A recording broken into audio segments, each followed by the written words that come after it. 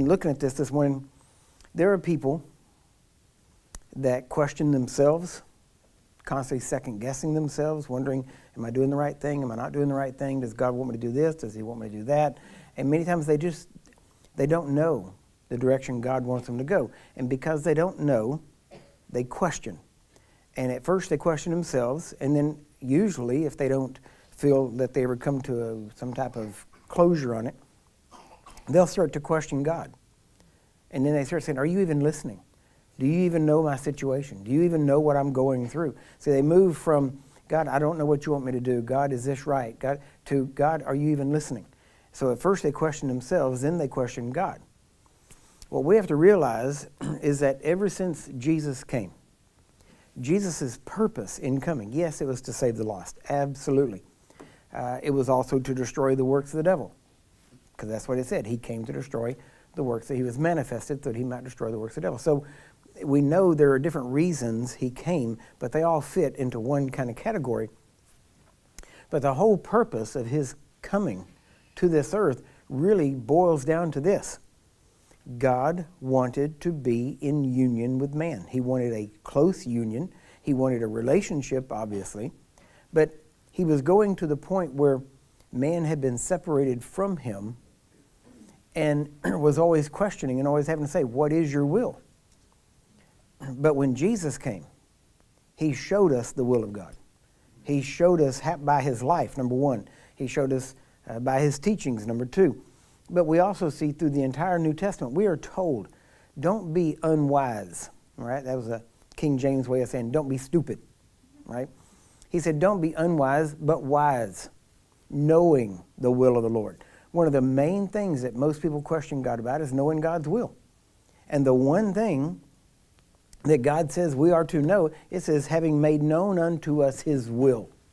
So his will, we know his will. It's in you.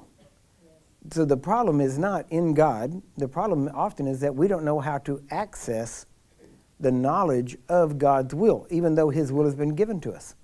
So, I mean, I've got well, let's say, have you ever, uh, maybe from somebody, or so, let's not say a person, let's say a business.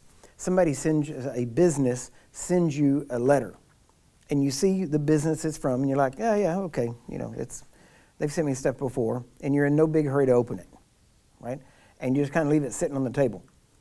And then one day you walk by and you see it, and you're kind of like, oh, you know what? I, I, I got a little time. I'll go and You open it up, and it was saying you know, contact us within seven days and you get a free this.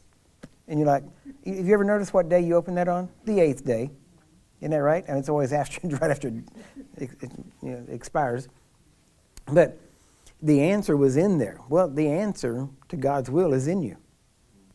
But many people don't seek God's will. They don't try to determine God's will, is a better way to say it, until they're in such a problem that they have to you know, somehow try to dig themselves out of it. And then all of a sudden they're crying out to God saying, God, show me your will. And he said, I showed you a long time ago. If you'd have been listening, yeah, you would have had rocky ground, rocky things going on, but you would have walked right on through it and you wouldn't have spent near as much time in it. Imagine is the Israelites, had they, they knew God's will. God's will was for them to go into the promised land, to take the promised land. But because they didn't understand how that could happen, and they looked at the circumstances over uh, what God had told them to do. Because his will was clear. My, he, he told them, I want you to go into the promised land. This is the land I've given you. Go in and take it. He didn't say, go in and it's just going to be handed over. He said, go in and take it, right?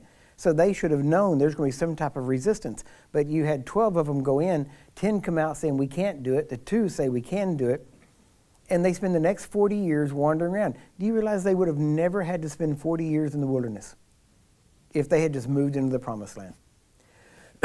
so now the bad part was Joshua and Caleb also had to go in 40 years in the wilderness, wandering around with them. But later, when they finally, after 40 years, Joshua stands, or Caleb stands up and says, Listen, I'm 80 years old and I've got more strength and more energy than I had 40 years ago. Now I want this land that God promised me, and I'm going to go take it. Amen. Amen? Why? Because God's promise is not dependent on your ability or your strength or your power or anything to do with you other than your obedience to step in and take it. Amen. I'm preaching way better than you are, amen, and I can tell you. All right? Okay. This is good news. Amen? So, but too often uh, we question God's will. Well, maybe this, and, uh, you know, often we've had it taught to us differently. Well, God's will is this, God's will is that, it's this thing, and and we, oh, that sickness, that's God's will. Oh, this, you know, this uh, bankruptcy, that's God's will. No, no. Uh, the the idea is to get God's will, not what man says is God's will. Amen.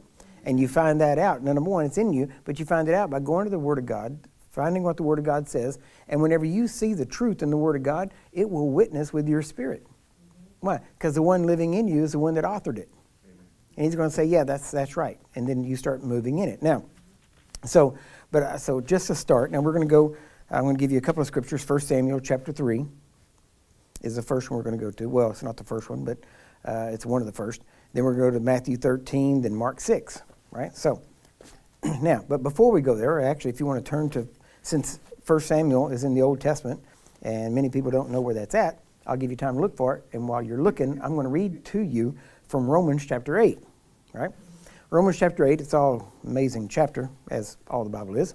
But in verse 29, he says, For whom he did foreknow, he also did predestinate to be conformed to the image of his Son. So, first off, we know right there that's the will of God. God's will is that you be conformed to the image of his Son, right? First and foremost. And you say, but that's not God's will that I need to know. I need to know what job does he want me to take? What house does he want me to, to buy or rent? What car does he want me to have? I need to know details today, right? And we're going to be talking about the will of God, I believe, uh, some of the rest of this year. And so hopefully I'll be able to bring some of these things out for you. But notice this number one, the number one thing that God said was that He wanted you to, you were predestinated to be conformed to the image of God or to the image of His Son, all right? Now, why? That he might be the firstborn among many brethren. See, notice he didn't say, I want you to be conformed to the image of Christ so that you'll be a better person. He says, You will be conformed to the image of Christ. Why? So that Christ can be the firstborn of many brethren. What does that mean? That Christ can have greater preeminence. Do you get it? Until we're conformed to the image of Christ, Christ is not able fully to be the firstborn among, among many brethren. And it says that uh, Scripture tells us that Jesus is going to lead many sons unto glory. So our, our purpose, our, the, the will of God for our life is that we be conformed to His image in every area of our character, of our nature, of our being. Right? Now, if we're going to be conformed to the image of Christ, one of the things you never see Christ questioning God's will except in the garden, if you want to call that questioning. He was just saying at that point, look, if there's any other way, let's do it another way, but I know, and nevertheless, not my will, but your will. Right? So even in that, he was submitted to it. He was just saying, look, this is, this is not something I would choose, but I will obey. Right? And it said that through that obedience, he was made perfect. Okay? And so now, in watching how Jesus ministered, he even told us, he said, pray this Your will be done on earth as it is in heaven. Now, many times we just repeat those words Lord, uh, your will be done on earth as it is in heaven. Now, while that is a model prayer, the rabbis in Jesus' day, uh, they would put together a prayer that pretty much summed up their doctrine. And that's how they taught their disciples to pray. And so you could take each part of a rabbi's uh, flagship prayer, if you want to call it that. And you could take it apart and then you would bring it to life in your life by living out their doctrine. So whenever Jesus said, pray this way, he said, when you pray, pray this, thy will be done on earth as it is in heaven. So you could pray those words. But that's so general, that's not a faith prayer. Instead, we are to know his will. So we are to pray God, your will is healing. God, your will, your will is that I be blessed. So I'm praying right now and I'm saying, I'm blessed. And I'm praying and I'm speaking And you can see in Mark chapter 11, verses 23 and 24, these two are put together. One is about saying, and one is about speaking. How many of you know when you pray, you say? Right? You can't say, well, now I'm saying, but now I'm going to pray. Here I'm going to say, and I'm going to speak the end result, but when I pray, I'm going to beg and cry. See, those two don't go together, right? So it's, God doesn't want you begging and crying. I mean, if, if your kids come to you, just begging and crying. Um, I heard somebody say the other day, be a winner, not a whiner. See, I had, I had a sign here somewhere, I don't know where it went, but it said, um, I don't run a winery. W H I N E R. Anyway. So, but you have to realize God tends to run a, a winery because most people want to whine to Him and they try to separate saying from praying. And your saying should match your praying, or your praying should match your saying, right? Now, that's if your praying and saying is good, that's good. But if your saying's bad, then change it. Amen? Say what God said. Now, let's read this. He goes on, he says, verse 30, Moreover, whom he did predestinate, them he also called. Now, just in case, if you are in Christ, if you are born again, this is you. Do you get that? This isn't about some people 2,000 years ago. This is you. Whom he did foreknow, he did predestinate. Who? He just told us ahead of time. Whom he did foreknow, he did predestinate to be conformed to the image of his son.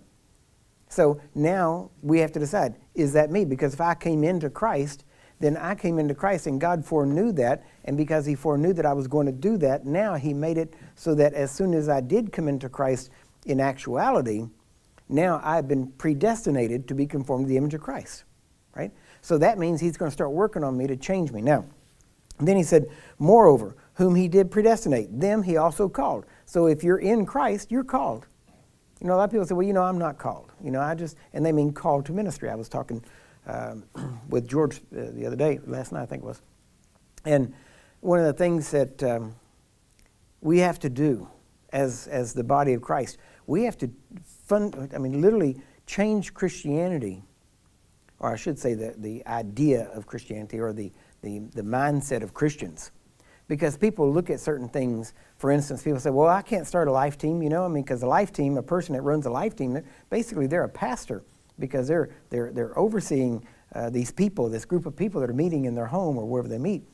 Well, that's, that's not me, so I can't do that. No, you need to get your mind off of the title and get your mind onto what the Word of God says you're to do. You're to be a disciple who makes disciples. You see? And if you, have, if you make one disciple, it's funny, if, I, if I'm a discipler, meaning I'm a person who makes a disciple, and I'm making one disciple, I'm a discipler. But if I have five disciples, now I'm a pastor. See, there's something wrong with that picture. There are people who are called to pastor, to shepherd, to uh, function in that way. And as we said before, in life teams, many of the life team leaders are functioning as pastors, but what we have to realize is that life teams are a team. And so even a life team leader, if they're functioning as an overseer or director or whatever you want to call it of a person's life, they are actually helping people grow. And it's not about being a pastor. You're not going to go have cards made and say you're pastoring. but you may know that as a life team leader, you're called to be a pastor. That may be your calling. But the bottom line here is when he says, Whom he did foreknow, he did predestinate, and whom he predestinate, those that he also called, you have to realize your calling is not your calling as an apostle, prophet, evangelist, pastor, teacher. Your calling is to be called into Christ to be conformed to the image of his son. That's your calling. You got that? now, for that calling to be fulfilled, you're going to have to do what the Bible says to do, or it'll never be fulfilled. You know, there are people that join the military and never become soldiers. Right? Now, they have a hard life because they're constantly fighting against the system, and usually they don't last their full enlistment. Usually they end up getting out after a short period of time or something. But if you're going into the military, you know, if you, go, if you join the Marines, guess what? You might have an idea of pretty uniforms, but that drill instructor has an idea of conforming you to the image of a Marine. And if your idea is pretty uniforms and his idea is, is a Marine, how many of you know uh, he's going to win? right? And so he, he's going to conform you to the image of a Marine. Same thing with any branch of service. So I don't know why we think it's different whenever we come into Christ, that we think we're going to come into Christ and just hide out in Christ until God, you know, zips us out of here or something. and he's going to come for us and we're going to be exactly the way he was when he or we were when we when he found us. His idea is not to leave you how he found you. His idea is to change you and to conform you to the image of Christ. Amen? That means you're going to have some experiences that may not always be pleasant. Right? Why? Because change isn't pleasant usually. And most people don't like change. Matter of fact, one of the ways that they can tell your level of mental health is by how well you adapt to change. That's one of the primary indicators of how mentally healthy you are. Right? now, he says here, and watch this. Uh, we'll start at verse 30 again. Moreover, whom he did predestinate, them he also called. And whom he called, them he also justified. So, see, if you're not called, you're not justified. So, you're called. If you're in Christ and you've accepted him and he is your Lord, then guess what? You're called. Okay? And whom he justified, them he also glorified. Well, that's good news, right? Verse 31. Now, what, now watch this. Paul is writing here to the Romans, and he says, What shall we then say to these things? What is our answer to what I just said? What I just wrote about of his foreordination, of his foreknowledge, of his predestinating us, all these different things. What, what shall we say? How are we going to answer this? Here's what he said. You want the answer to that? It's simple. If God be for us, who can be against us? And that right there is enough. If you just learn that one verse and realize, or the I should say these three verses here, that right there is enough to actually absolutely turn your life around. Because if you realize God is for you and who can be against you, well, who is who? Is who? Well, that's anybody that could try to be against you. Now, you might have people that come against you, but nobody can successfully come against you, right? Unless you decide that they're coming against you somehow as the will of God, and therefore you settle for it, and basically you just allow it. So you have to decide, no, uh, this, you know, there's uh, lawsuits, things like this, uh, legal cases. No, no. Uh, that, yeah, you can bring the charges against me, but, but you're going to lose. And you're going to waste a whole bunch of money. Why? Because who can be against me if God's for me? Right? Now, it may look bad for a while, but that just gives God time to clear out all the people around you that don't trust Him. Right? Because you start, when things start looking bad, you'd be amazed how many people leave, how many people run off and how many people change their minds about you and start to say, well, you know, I thought he was a good guy. I thought it was this way, but you know, I mean, you know, where there's smoke, there's fire. That's not always true, right? There can be smoke without fire, right? And the devil is real good at smoke screens. So we need to realize that if God is for you, who can be against you? And see, this is what I want to get to. When I start talking about questioning yourself, you have to realize because when you start going through rough times or rough things, uh, most of the time people end up looking at things going, well, well, is God really for me? I mean, if He was, could, could these things be happening?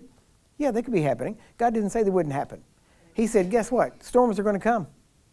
The, the wind's going to blow, the rain's going to fall, things are going to happen. You're going to go through storms just like the bad people. The difference is your house will stand. In other words, you are coming out of this, right? It's not going to last forever. Job, everybody talks about Job, and Job's entire bad times lasted approximately nine months. Now think about that. Nine months. It, it didn't last years. Everybody act like it lasted, you know, 10, 15, 20 years. It didn't last that way. It lasted about nine months. And then that whole time, God said, uh, Job never said anything wrong about me. Think about that. Amen. So now Job's comforters, they said all kinds of things. they said all kinds, and God even showed up and talked to them. Said, The things you've said about me is wrong. You've spoken wrong about me. Imagine that. You imagine their knees were knocking, right? They're probably pretty worried about that. When God shows up and says, You've been talking about me and you've been saying wrong things, that's not somebody you want showing up on your doorstep, right? right? When you've been gossiping bad about them. So, or, let's just take it further. Or you don't want the person that you've been gossiping about that is right with God you don't want them showing up on your doorstep saying, You've been gossiping about, about me, and I just want you to know God is for me. And if you're not for me, then that means you're against God. Yeah. Think about that. Amen? See, people don't like this kind of talk, but the fact is, this is all through the Bible. And you can see people, and you can see all the people that were right with God were always able to stand up and go, You know what? Here's way it'll be. Paul, think about Paul. Paul was chained between two guards at the point that he writes this at one point. They even talk about how uh, in Roman, uh, during, the, during those times, according to Roman military custom, the way they did things, and believe me, the Roman military was uh, very specific about how they did things. And it said that at the time that Paul wrote his letter, the, the letter I'm going to refer to here, it said that he would have been literally chained on both hands to a Roman guard. So every time he moved his arms, the guard knew it.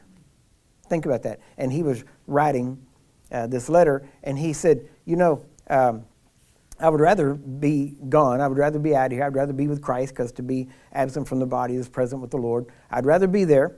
But the church needs me here, and, and you know, and I'm really in a fix between the two, uh, whether to stay or go.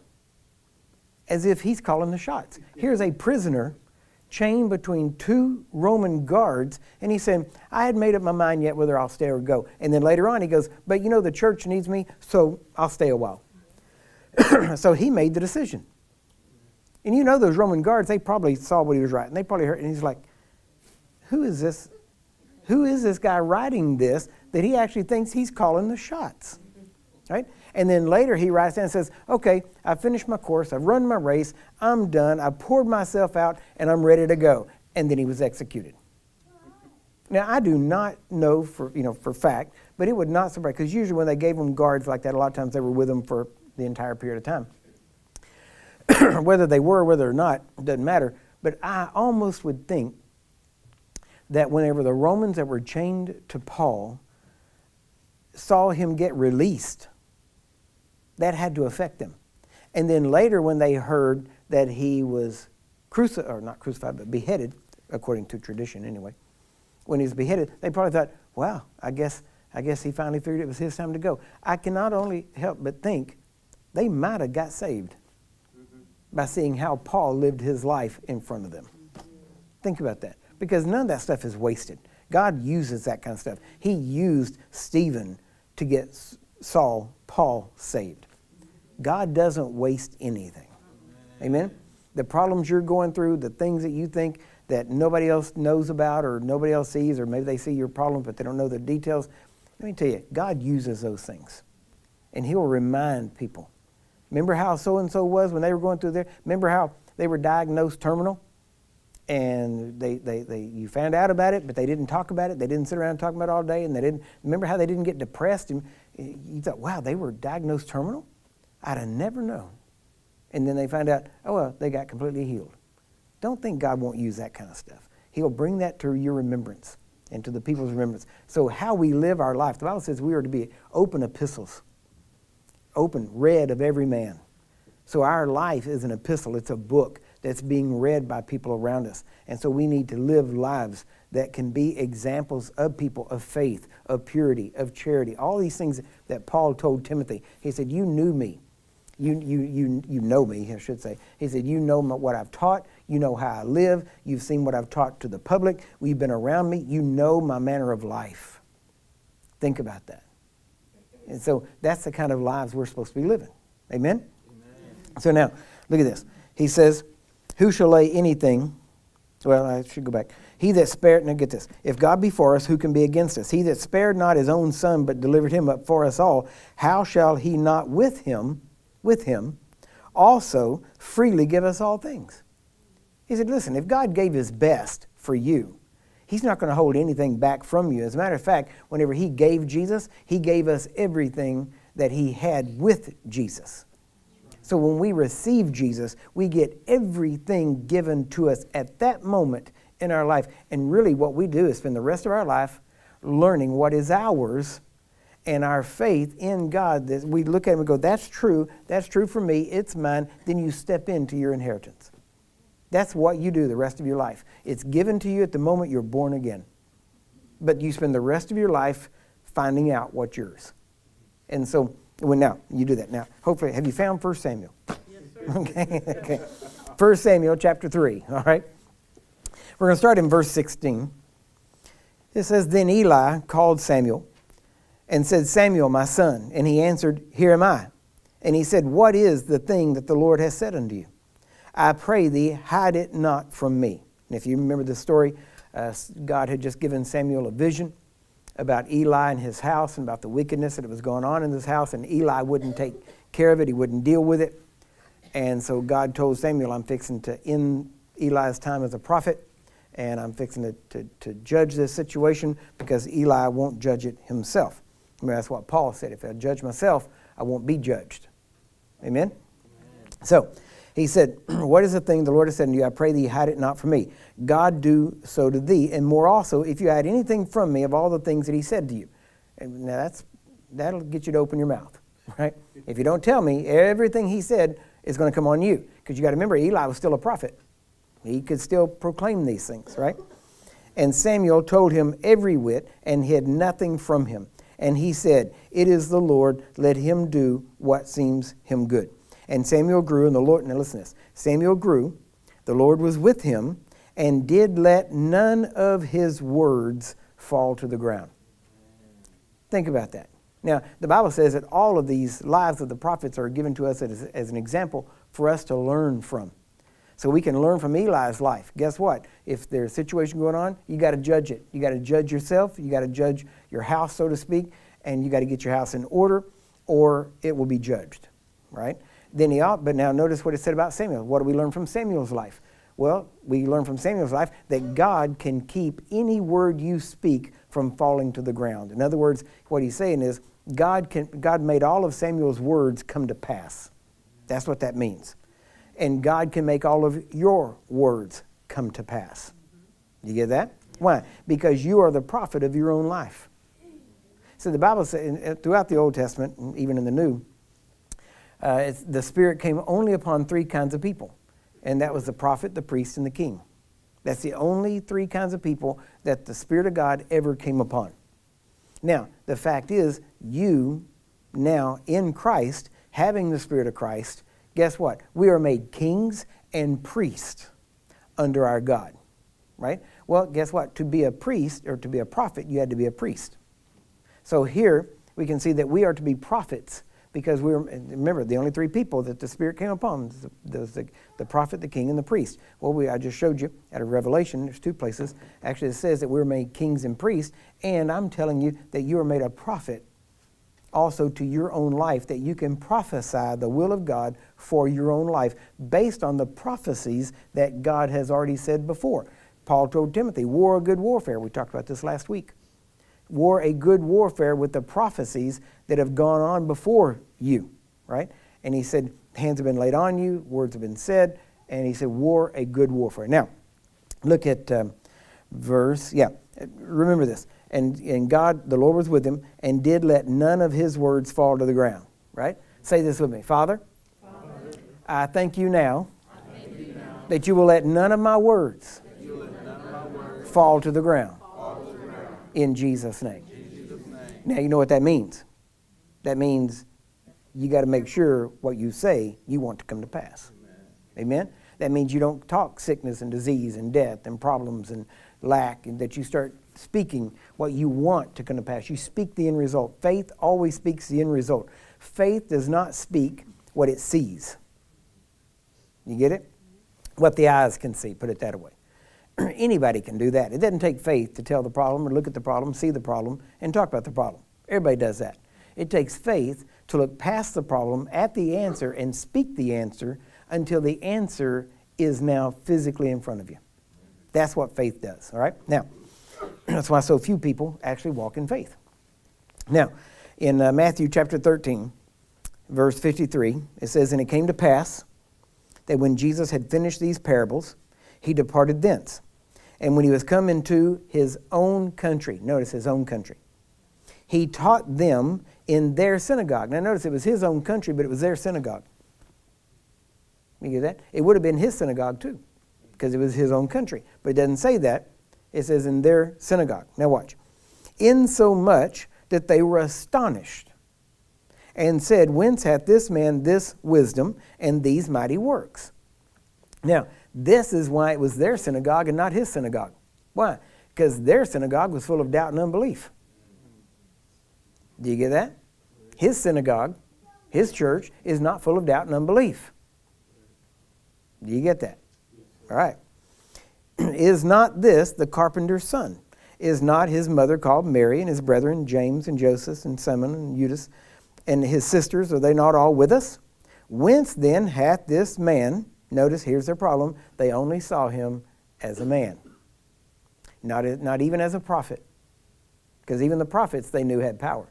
So they only saw him as a man. They couldn't get past the familiarity. He grew up here. We know his mama. We know his daddy. We know his brothers and sisters. We know, uh, see, they couldn't get past the humanity of him. They knew him well enough or and, and enough, which also stands out to show that he didn't always, when he was growing up there, he didn't walk around acting like the Son of God all the time. Amen? Amen. So it says, and whence then hath this man all these things? And they were offended in him. Now notice, offended. A minute ago it said they were astonished. Now it says they were offended. Astonishment can quickly turn to offense. Okay? But Jesus said unto them, A prophet is not without honor, except in his own country and in his own house. Now look at verse 58. And he did not many mighty works there because of their unbelief. Right? Now, people have used that to say, see, even Jesus couldn't get people healed in his own hometown, and that we'll talk about that in just a minute. But I want you to look at this. He did not many mighty works there because of their unbelief. Now, here's the question. Now, and remember, nothing I preach is ever meant for condemnation, so don't get in condemnation, and that kind of stuff. I'm just, I want you to hear this because the point is for you to grow, right? See, you, you can, I don't mind you coming under conviction because I preach the Word of God. And when you hear the Word of God and you hear where, here's what the Word of God says, and here's where you're walking. See, when you just say, wow, I should be walking there, and you decide to move up to there, that's conviction. But when you hear that and go, wow, that's where that is, and this is where I am, I'll never be there, I can never do that, I, you know, it's not even worth trying. Now you're entering into condemnation because you are deciding not to be who God called you to be. Do you get that? So I don't preach condemnation, I preach the word. You decide if it becomes conviction or condemnation. That's on you. You got that? Okay. Now, but here's the question. In verse 58, it says, And he did not many mighty works there because of their unbelief. Now, here's the question I want to ask you How many mighty works can God do in your life? Yeah. If, as long as you don't have unbelief. Because whatever, whatever he is not doing, listen, listen carefully. Whatever you need, God has provided. Do you agree with that? He has given us all things that pertain to life and godliness. Is that right? Amen. And it says that He hath blessed us with every spiritual blessing in heavenly places. Is that right? So everything we need, He has given. So anything we need that we're not seeing in our life, we're not seeing it because of unbelief. Boy, you got quiet. Now, again, no condemnation, conviction, change. Make a decision, all right? Now, what I mean by that? I'm not talking, I understand whatever's not a faith is sin. I get that, but I'm not emphasizing, uh, you know, the, the sin part of it. I'm saying change. You can, you can change. You can make a decision and go and say, okay, uh, oh, I see that. Now, so if you're not seeing something in your life, it's because of unbelief. So the key is to find out what is causing my unbelief? What am I unbelieving? What does the Bible say that I have that I am not believing? Now, here's the, here's the, the key to this. you can tell what you believe two main ways. Well, I would even say three, but let's say, well, I'll give you all three, but we're going to emphasize two. Okay? the three main ways that you can tell uh, what you're believing, where you're at, is by what you think. That's the third way, actually, and that's the, the not the least way, but it's not the main thing I'm talking about. But the other two things are what you say and what you do, how you act. What do you do on a daily basis? What do you say on a daily basis? Because what you say, out of the abundance of the heart, the mouth speaks. So what you're saying is essentially what you're thinking, right? So the key is make sure you're thinking right, speaking right, and acting right, doing right. Now, when I say thinking, speaking, and acting or doing, I'm not talking about doing everything just right. I'm talking about thinking correctly. I'm talking about acting correctly according to the Word of God, according to what you believe. You got that? See, when you believe you're healed, you act healed. Right? You don't you don't say you don't believe you're healed and and act sick. Right? Uh, you know, it, it's, uh, for, I'll give you one example. Um, well, I can give you, I could actually give you a couple. But if I understand that if you have a disability, that it makes life hard. I, I totally get that. Okay? Now, if, if it were me, I don't care whatever happened to me, I would never have that blue thing hanging in my car. Why? Because that means now I've accepted that, and that means I identify with that, and I'm making my life easier because of it. Now, see? Why? Because I was raised in under a man of God that showed me how to walk in faith. And so I made certain decisions based on that, that I would never coddle sickness or disease in me. I would never baby it, right? Now, that doesn't mean, you know, I mean, I, mean, I understand if you, you do what you got to do, I get that. But you should never accept a diagnosis or a symptom or anything else as part of who you are, because that's not who you are, Amen. right? Say, if I have a flat tire coming into to, to the office sometime, uh, that, flat, that flat tire does not define me. I, I get out, I fix it, and I move on, right? And it's the same thing with sickness or disease. And you might be in the process of fixing your flat tire, but don't ever think that you're a flat tire. Amen? Amen? Maybe some of us that need flatter tires, but anyway, that's a whole other thing. It's a whole other sermon. so, all right, now, all right, let's go to Mark chapter 6. So, what was the question? What can God do through you? Because whatever He can't do through you is because of unbelief. So, the answer is to find out what is causing your unbelief. What are you not believing that God has said? And what you're not believing. Now, listen carefully. Like I said, those three, those, uh, what you're not believing is going to be based on what you're thinking, what you're saying, and how you act. You can, and according to even John Lake, and I've proven this now in my own life, that it, as he said, it is a law of the human mind that I can act myself into believing faster than I can believe myself into acting. Most people say, Well, I'm not going to act well until I feel well. Well, then, then let the thing run its natural course because that's what you're doing. Because the natural course is maybe you should get well over a period of time, unless it's a terminal illness, and then the natural course is you're going to die of it. Right? Let's just be honest. I, I don't like all the you know, hide the truth stuff that I see in a lot of churches, a lot of sermons and things. But if you, if you, if, now listen carefully. What I'm talking about is the natural course. But you don't have to live according to the natural course. You can live according to the supernatural course where you bring God's word and his power into to, to bear onto that situation, and now it changes and it doesn't have to run its natural course. That's what healing is, is that something does not have to run its natural course. Right? You get that? now, so if you're going, if, if you, you can act yourself into believing. So all you have to do is find out what the Bible says about you and start acting that way, and it will change your thought process. It will eventually change your mouth, and the longer it takes to change your mouth, the longer it takes for you to see the supernatural take over your situation. So the real key is change your mouth, okay, which you mainly do by changing your thinking because according to the, what the Bible says, uh, you know, the, out of the abundance of the heart, the mouth speaks. So change your thinking, change your speaking, change your actions. If you do that, you will absolutely, you cannot, you cannot change those three things without changing your life. You cannot do it. It is impossible. And the Word of God says if you do these things, you will change your life. Now, Mark chapter 6, verse 1. He, this is the same situation of Matthew 13. And he went out from thence and came into his own country and his disciples follow him.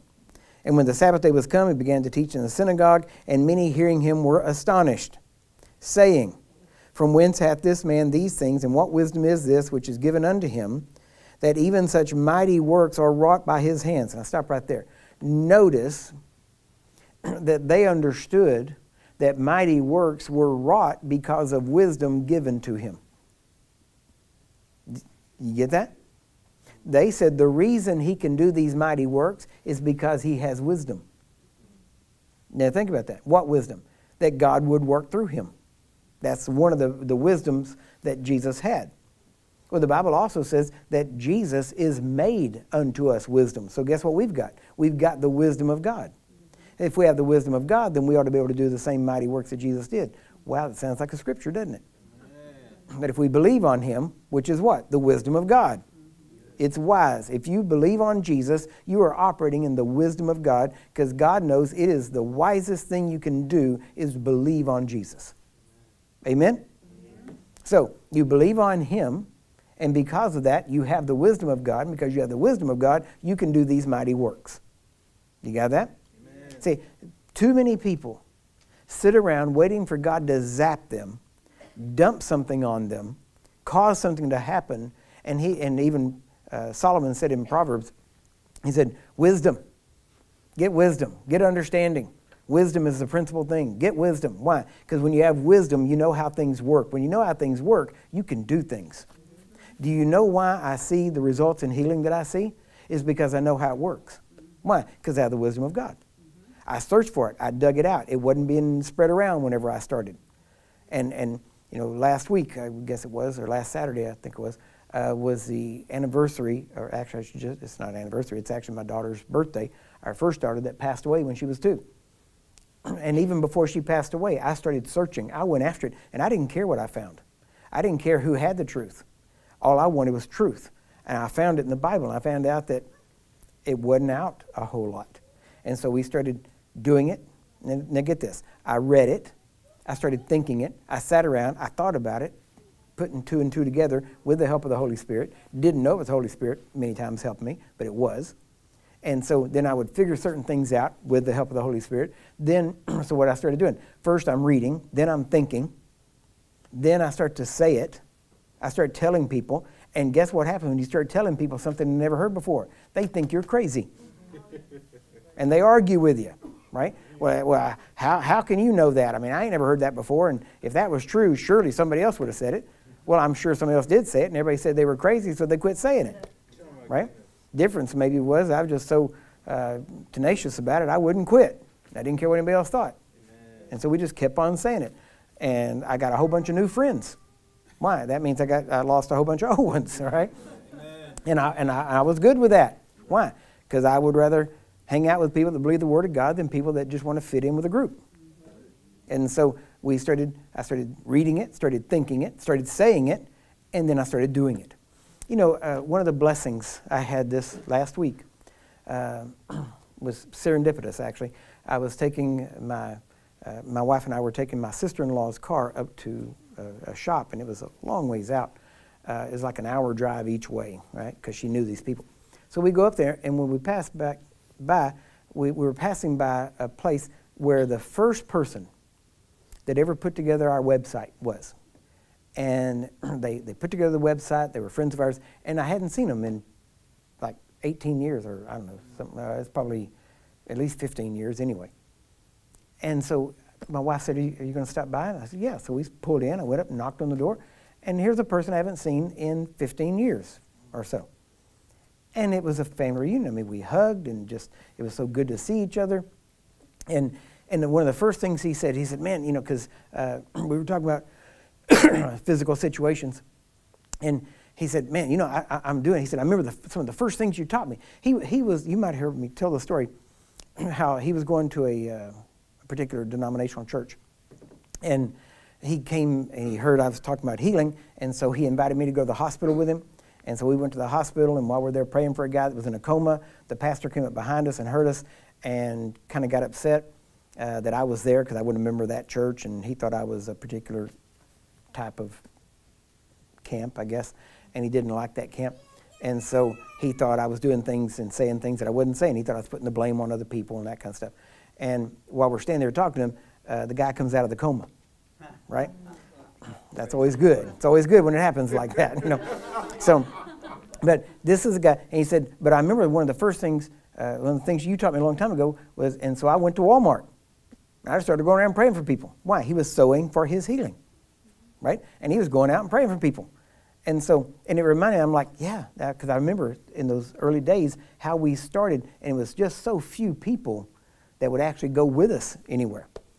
And so we got, I got to see him again. It was a real blessing to see him. Uh, you know, not to mention I found out he's also a gunsmith, so that made things good too. So we just, we just really reconnected on, on every level. it was really good. So, but um, it was really, uh, it, it's good when you see people and you go back and you remember how you started. Amen? And so uh, in that time, I was going to, I would go to Walmart and just walk around and just find people that were sick and just, just minister to them. And so, and that's how we got started. And most of the time I had to go alone because most people wouldn't go with me, right? But we kept going, kept going, kept going until finally, now, believe it or not, this, the, the, what we teach on healing is the number one teaching on healing in the world right now. The number one of people that are actually doing it. Amen? And all, the, all that has changed in 20 years. Literally. We've, and that's what Sid Roth said. He said, uh, You're going to change the face of Christianity as we know it. And honestly, it's happened. Why? Because it's truth. People want truth. They want to walk in truth. They don't want to just be told, you know, in the sweet by and by there's going to be healing. They want to walk in truth. They want to walk, they want to do things for God, and they want to know they can do it. Now, this takes right back to what I'm talking about because here's, here's the point. Remember what I said about Samuel? It said that God didn't let any of his words fall to the ground. So, and remember, we also talked about how people doubt themselves and they doubt God. Listen, the whole reason I'm speaking this this morning is because what God told me to tell the people that are listening, whether present or internet or any other way, is this trust God to back you up. You have to decide. So many people are wondering and they think they're on their own. Man, if I thought I was on my own in this, there's no way I could have kept going 20 years, 25 years now like this. So you have to decide is God with you? Is He with you? If He's with you, then nothing can successfully stand against you. That's why I read Romans a while ago. You have to decide, because he talks about famine and peril and tribulation, all that stuff. And he said, and who can be against us if God be for us? Well, that's my question to you. Is God for you? No, don't, don't just give it lip service. Oh, yeah, God is for me. I'm blessed, you know, blessed and highly favored. No, come on. Let's get past the cliches because the cliches don't get you healed. The cliches don't get you, don't, don't, cause you to walk in the blessing of God. The, the cliches don't get other people healed through you and you walking in the power of God. Let's get to reality and let's decide is God for us or not? Now, let's go beyond us because I know God's for me. My life proves it. I'm telling you, my life proves it, right? And times when I wouldn't have been for me, God was for me. So, really, the question comes down is God for you? Because I know He's for me. But, and for you to walk in the things that God wants you to walk in, you've got to know He's for you. What that means is, now I'm not talking about you walking perfect. Because remember, perfect is not walking without mistakes. Perfect is when you make a mistake, you get right back right with God immediately and keep walking. That's perfect. See, that's not our kind of perfect. Because if it was our kind of, see, our kind of perfect says, don't make a mistake. If you ever make a mistake, you can never be perfect. But thank God that's not God's kind of perfect, because if that were true, then God couldn't even use us. Why? Because we'd have to be perfect for Him to use us in, this, in, in our minds, and we never attain that. But we can, according to the Word of God, we are perfect and can attain perfection and maintain perfection in God if we obey Him. The Bible says a righteous man falls down seven times and gets up eight. Think about that. A righteous man falls down seven times. Now, see, we would say, if I were to ask you, how many times does a righteous man fall? Or does a righteous man ever fall? Oh, no, no. A righteous man would never fall. Then no one's righteous. Why? Because we've all fallen short of the glory of God. Amen? Come on, are you with me on this? Do You realize all I'm saying is Scripture, right? I'm just quoting Scripture to you. That's all I'm doing. so it's not the falling down that God focuses on. It's the getting back up. Now, if you fall down and stay down, then according to the Bible, you're not a righteous person. But if you fall down and get up, you're righteous. Amen? Amen. Again, that's good news. Okay? Now, notice here, it, they, he says, Whence hath this man this wisdom, these mighty works? Oh, I'm sorry, I'm back in Matthew 13. and uh, Mark, let's go down to verse 4. But Jesus said unto them, A prophet is not without honor, but in his own country and among his own kin and his own house and he could there do no mighty work, except that he laid his hands upon a few sick folk and healed them. Now, number one, he laid his hands on a few sick folk and healed them, which means every person laid hands on got healed. So Jesus did not try and fail to heal anyone. Everybody he ministered to got healed. Now, notice, I was driving, and this scripture just, it was like it was right in front of me think about this. He's here he is in the middle of his own area, people that knew him, and they were all in unbelief. And in the middle of that unbelief, Jesus could there do no mighty work except he could heal. Do you get that? The one thing he could do is he could heal. And yet, if you listen to most preachers talking about healing, if the person's in unbelief, uh, forget it, won't work. And yet, be, a, an entire city being in unbelief did not stop Jesus from healing. Now, it did stop him maybe from doing other things because it said he did not many mighty works. He could there do no mighty works except. So there was stuff he couldn't do there. Now, think about that. And this hit me so hard today, when, uh, not today, but the other day when I was driving. Imagine standing before Jesus and you're saying, why, why did you remember, remember that time uh, I was going through this? Remember that time my friend was going through this and I prayed and nothing happened? Why, why? And Jesus said, Yeah, I couldn't because you were in unbelief. I, I could, I wanted to help, but I could not. And I thought, wow, imagine standing before him and him telling you he couldn't help you because of your unbelief. Now, I'm not talking about healing, because even in the middle of healing, people, I mean, in the middle of unbelief, people got healed, right? I'm talking about in your life. So, all, what I'm asking is this what is it that we're not letting God do? What could you do? What, what, what could God do through you if you could just believe Him? Amen? Because believing Him is not hard. Right. Believe, but, but faith comes by hearing, and hearing by the Word of God. And when it says hearing by the Word of God, it literally means hearing and obeying, hearing and doing. And whenever you hear the Word and do the Word, faith is present to cause what you're doing to come to pass. Right? you know, somebody could send you a check in the mail, or they could say, Here, your check is at my office. Come pick it up. Well, it's always good to get a check in the mail, but if they say the check is at the office, you can't. There, you have no right to sit around and complain about you not having your check or, or money. Whenever they said the check is it's at my office, just just come pick it up. No, it's because you didn't act on it to go pick it up. So it's not the person's fault. Isn't that right? it's not the person's fault. It, it, it, is, it is your fault if you don't go pick it up. And here he is saying, now, if you have faith, I can do these things. So it's on us to have faith in him, which means that whatever it takes for us to get there, we got to be able to do it. If that means cutting things out, because listen, one of the, the main things, um, a person came to me the other day and they said, Man, you know, I've been wanting to, to, to, to meet with you, and I, you know, I just got a couple of questions I want to ask you. I'm like, Great, okay, well, you know, what, what can I help you with? And, and then they just start talking. And they talked and talked and talked, and they never asked the question. They just talked. Now, listen, I don't, I don't think more highly of myself than I ought. I don't think of myself as higher than any other person or anything else. I think we're all brothers and sisters, you know, and I know your time's valuable, my time's valuable, right?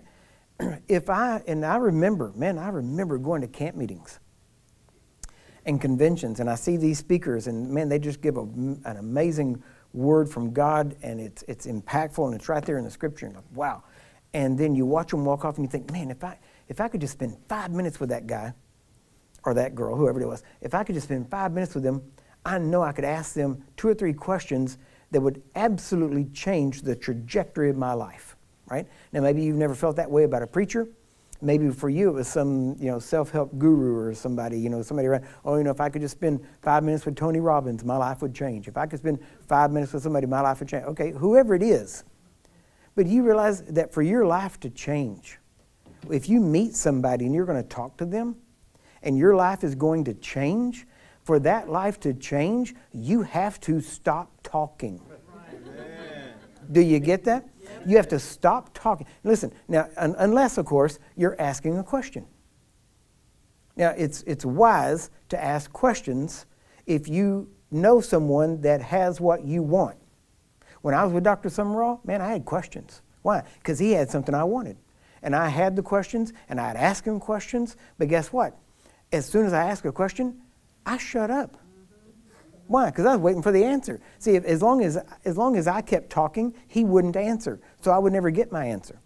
But if I could say the question and shut up, the sooner I could shut up, the sooner I got my answer. Because you don't learn anything by talking. Amen? Amen? And so I started realizing that the real, and so many people come to me and they want to, they, they, they you know, if, oh, I have a couple of questions. And they really don't have any questions. They just want to tell me about their life or they want to tell me something, which in, you know, many cases it's interesting or something, but at the same time, in many cases not. But anyway, uh, you know, it, but the bottom line is we have to get to a place where if we're going for something, we ask for it, ask the question, whatever it is, and then stop talking. Mm-hmm. Amen? But, and if that person stands there and looks at you, guess what? Most of the time you'll start talking again because we're trained not to have silence. But it's in the silence that the wisdom of God comes out. If you ask me a question and I'm quiet for a minute, it's not because I'm, I'm not going to answer you. It's because I'm not going to answer you out of just maybe my own understanding. I'm, to, I'm, I'm waiting to get the right answer for you because the answer I could just give off the top of my head might be biblical, but it might not be exactly the answer you need. I need the wisdom of God to come out. And many times you have to be quiet first for that wisdom to bubble up through all of your thinking so it'll come out instead of what you think. Now I'm talking about people whose minds are not renewed to the Word of God completely, right? Because you can renew your mind to the Word of God to the point where you have the mind of Christ so that you can open your mouth and the wisdom of God will come out automatically. That's where we're all headed. That's when we are conformed to the image of Christ. Amen? Amen? All right. now, I don't know. You know, usually we have these messages uh, on CD or whatever in the bookstore right afterwards. I would highly suggest, if we do, for you to get this one today because there is a lot of scripture, a lot of things coming out that you could take pieces and analyze it and talk to God about it and let Him show you some things on it. Things that are not in my notes, things that are coming out uh, that I, I, can guarantee I'm going to get it.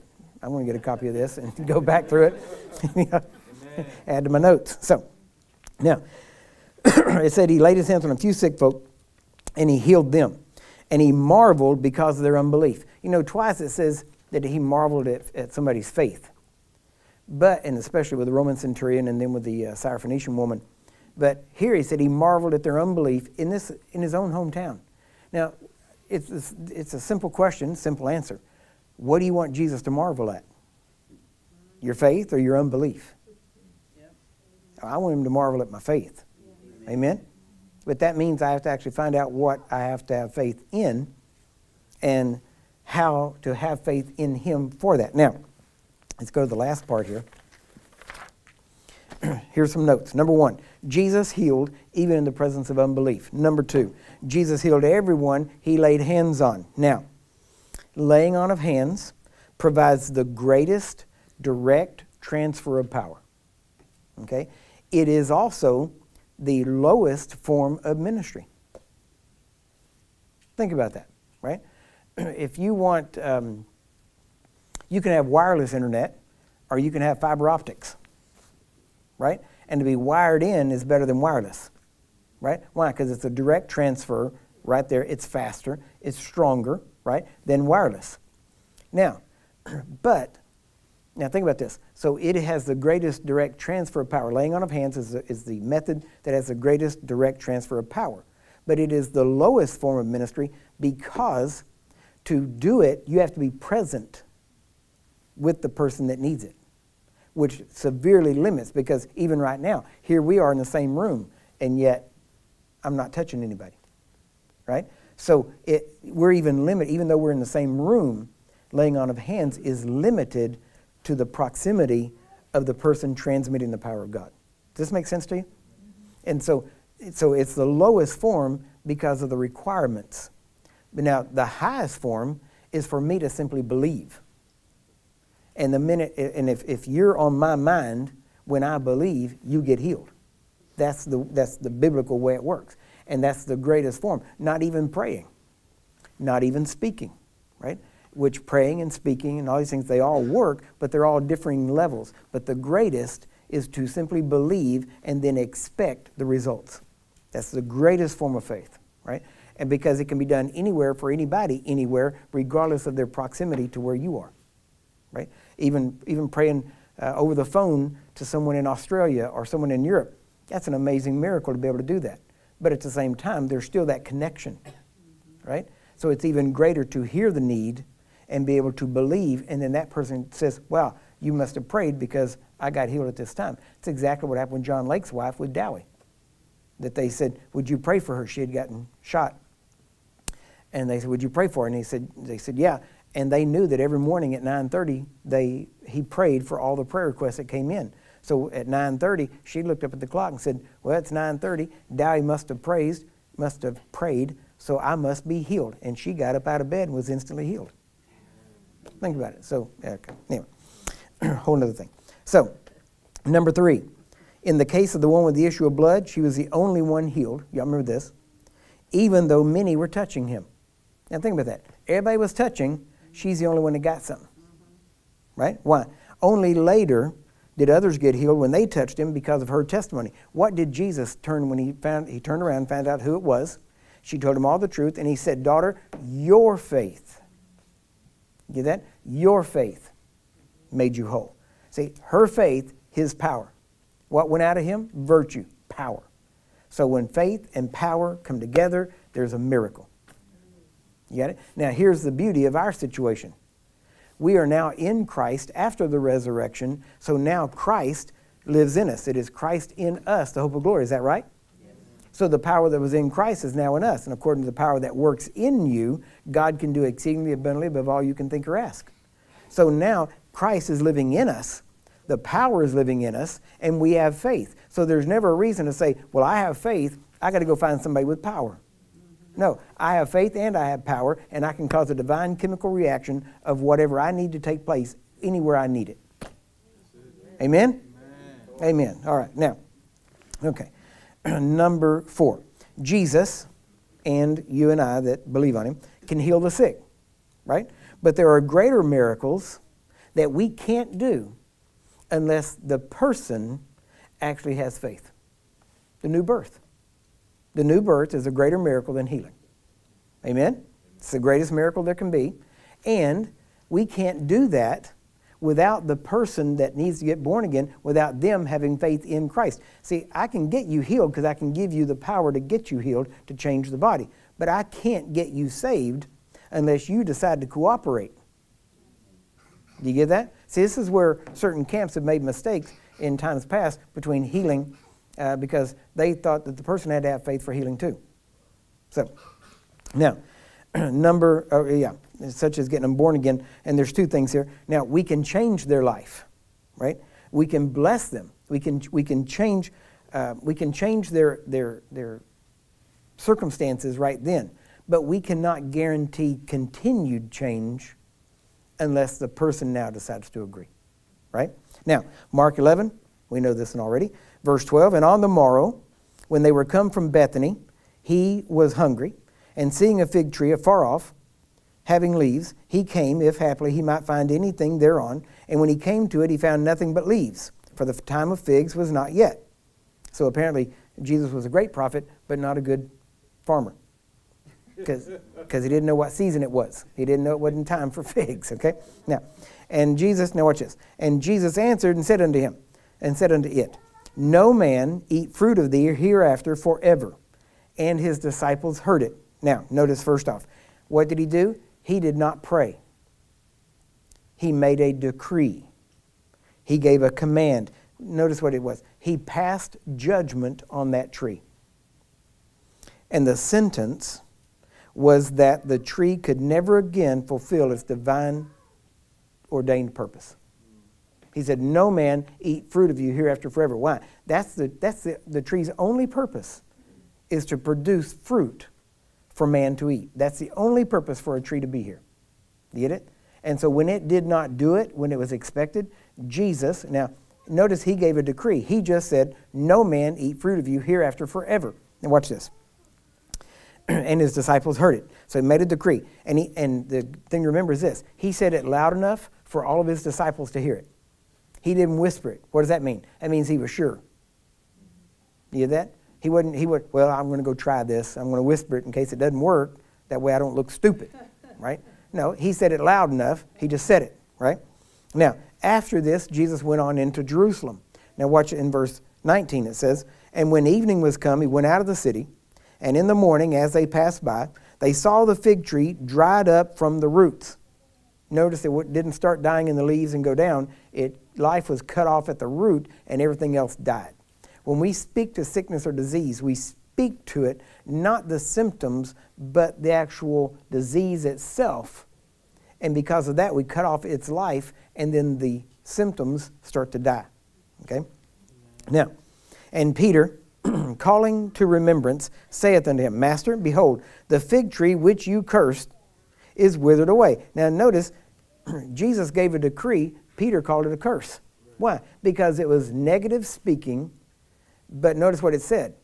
It said it could not fulfill its divine purpose. Anytime you speak to a person and say, You're stupid, you're an idiot, uh, you're, you know, you'll never learn this, uh, you'll never amount to anything. What are you doing? You are cursing them.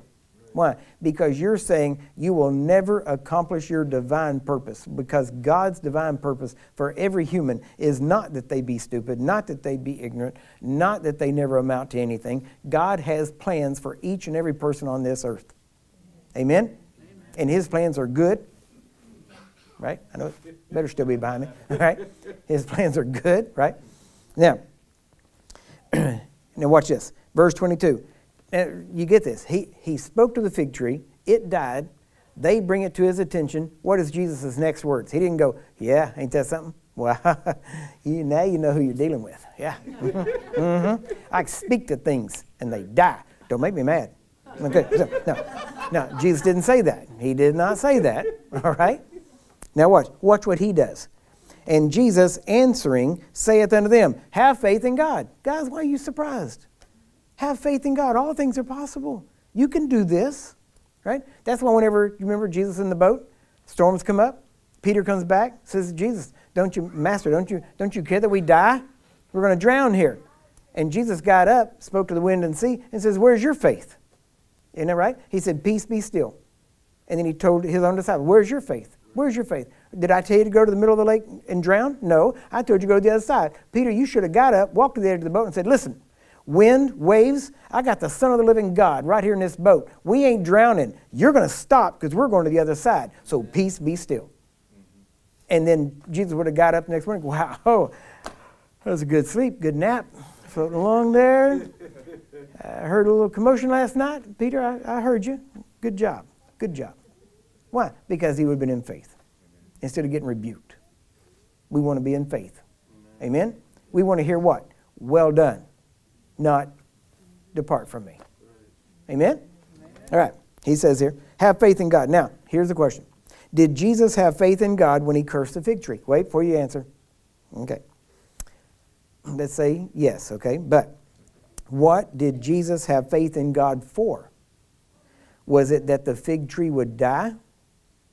Or that God would uphold whatever Jesus said? Now think about that. Did, did he say, no man, because he didn't say fig tree, die. Right. There are fig trees that don't produce figs, and they still live. They're useless, but they live, right? So Jesus didn't say die. Jesus had faith in God that God would uphold his words, not that the fig tree would die. Do, do you get, okay, do you see where I'm going with that? Jesus trusted God to back him up, whatever he said. See, we think God is waiting for us to say something, and He's going to say, "Yeah, I can agree with that," or "Yes, I agree with that." Uh, yeah, no, that's not my plan. That's not my will. So no, I'm not going to uphold that word. No, no, no. You got to realize, learn the Word of God, think the Word of God, speak the Word of God. You never have to worry about God backing you up. As long as you're speaking God's Word, He will always uphold His Word. When He upholds his word and it's coming out of your mouth, he's upholding your words. Do you get it? If he can do that for an Old Testament prophet, he can do it for a New Testament king and priest. Amen? Amen? Now, so then he finally says, For verily I say unto you that whosoever shall say, whosoever shall say, unto this mountain, Be thou removed, and be thou cast in the sea, and shall not doubt in his heart, but shall believe that those things which he saith shall come to pass, he shall have whatsoever he saith. Verse 23 is about speaking. Verse 24, Therefore I say unto you, what things soever you desire, when you pray, believe that you receive them, and you shall have them. Verse 23 is about speaking, verse 24 is about praying, right? Get them both right. So, why, now, last thing, why did Jesus have faith in God that God would uphold Jesus' words? I give you two scriptures. Genesis 1:26. And God said, Let us make man in our image after our likeness, and let them have dominion over the fish of the sea, fowl of the air, over the cattle, over all the earth, and over every creeping thing that creeps upon the earth. So God created man in his own image. In the image of God created he him. Male and female created he them. And God blessed them. And God said unto them, Be fruitful, and multiply, and replenish the earth, and subdue it, and have dominion. You get it? Jesus was simply obeying and walking in what God provided for Adam. Why? Because he was the last Adam. He was doing everything the way the first Adam should have done it, but didn't. Right? So he wasn't going by a specific word. He was going by the fact that he was walking as God's man on this earth in right relationship with God. So if you are in right relationship with God, how do you know if you are? You made Jesus Lord of your life. Are you in Christ? You're in right relationship. Amen? You may not be doing everything right, but if anything is not working in your life, it's not God's fault. It's because you're not working it the way it was meant to be worked. Right? You're believing something that does not allow God to do mighty works through you. Right? Now, could, we could go on all kinds of examples. The last verse, Psalm 8, verse 3 When I consider the heavens, thy heavens, the work of your fingers, the moon and the stars which you have ordained, what is man? that you are mindful of him, and the Son of Man that you visit him. Now, notice he didn't say, What is a prophet? What is an apostle? What he didn't say that. He said, What is man? Just man. Man has this ability. Not apostles, not prophets. That, that just gives you more responsibility. It does not give you more power. Your, your faith in, listen, faith in God, with, with faith in God, all things are possible. So why do you, it's not a matter of more power, it's more faith. Amen? Thou hast made him a little lower than the angels, hast crowned him with glory and honor. You made him to have dominion over the works of your hands. You have put all things under his feet.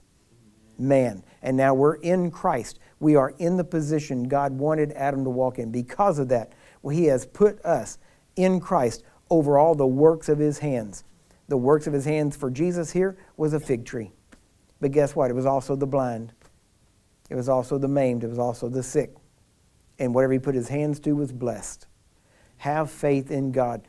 Let trust God to back you up. You know, my dad was a policeman all my, you know, all my life, you know, until he passed away, actually, uh, back in 2011.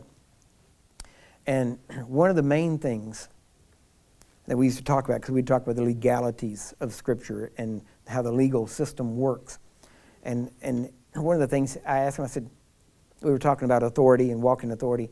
And I said, but what if I'm an authority, but I make a mistake? How, how does that work? And I said, well, he said, actually, there's a law. He said that the system is that if, you, if a policeman, for instance, a policeman makes a wrongful arrest, he arrests the wrong guy, right? And, and when he goes to court, the policeman once that's proven, the policeman can't get sued. I said, he can't get sued. He said, yeah, even for wrongful arrest, the policeman can't get sued. The police department can get sued.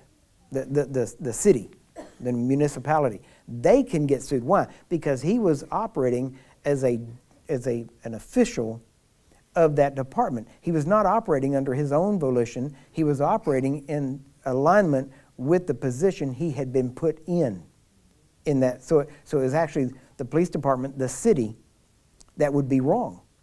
And I said, even if it's even if it's a wrong arrest, he said, as long as he can show good faith.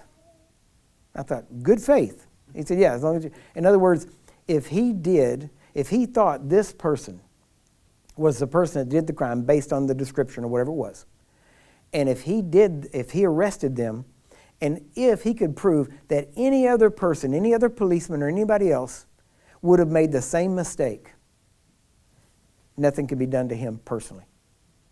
Now, think about that. All you have to do with God You are, you are a son or daughter of the living God. You are in Him. You are in Christ. The, the power of the kingdom of God is behind you, 100% to back you up. And even if you make a mistake, think about that. Even if you do it wrong, let's say you just somehow heal the wrong person, right? if that were possible. But you make a mistake, then if it's a reasonable mistake, and if it's a mistake made in good faith, you were trying to do the right thing. Nowadays, they even have what's called the Good Samaritan law because people would stop and try to help somebody at an accident, and the person, sometimes what they would do would be bad and hurt them more, and people were getting sued. So they put a law in effect called the Good Samaritan law that says if you stop to help somebody and your intent is to truly help, and if you make a mistake, then you can't be sued because of it. Think about that. And isn't it funny they had to go back to the Bible to get a term for that law?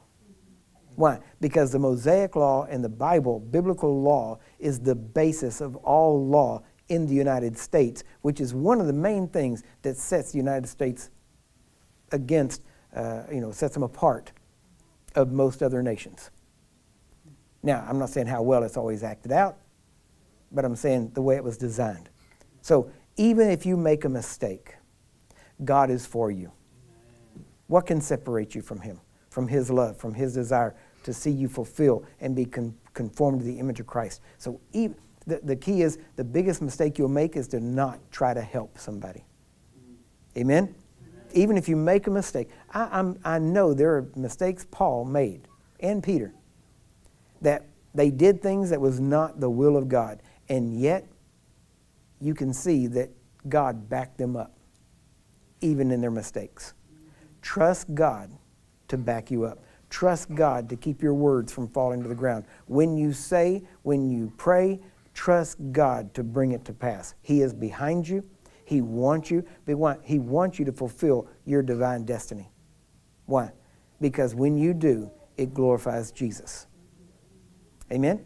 Jesus said, If you pray in my name, whatever you ask in my name, I will do it. Why? So that the Father may be glorified in the Son. You get it? It ain't about you. It's about God being glorified through Jesus living in you and, be, and you being able, being able to do what He did. It brings glory to the Father. Amen? Amen. Did you anything out of this this morning? Amen. Amen. Well, I, amen.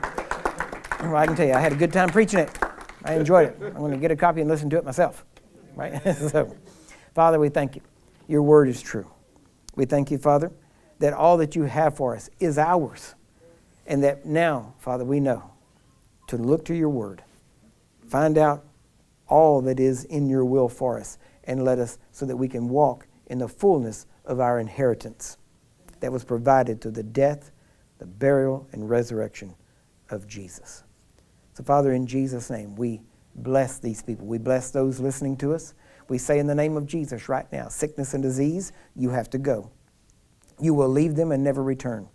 All pain, sickness, ailments, addictions, right now, go in Jesus' name. We set them free in Jesus' name.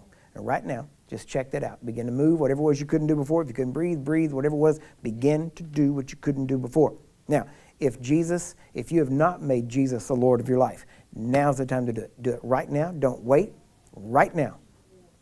Jump in. Make him Lord of your life. You say, How do I do that? Just say, Jesus, you are the Lord, and I, right now I make you my Lord. I will find out your will, I will obey your will, and I thank you now that I receive forgiveness of my sins, cleansing, and I am now a new creation. All you have to do is anything along those lines. It's not the words, it's the intent of your heart that you are submitting yourself to God through Jesus Christ. And at that moment, you become born again, and everything I've been talking about instantly becomes your inheritance. Matter of fact, that and even more that we hadn't even had time to talk about today. So, do it now. If you made Jesus Lord of your life, write us, call us, let us know. We want to rejoice with you, and we got some material we want to be able to send to you also. So until next time, God bless you. We will see y'all later.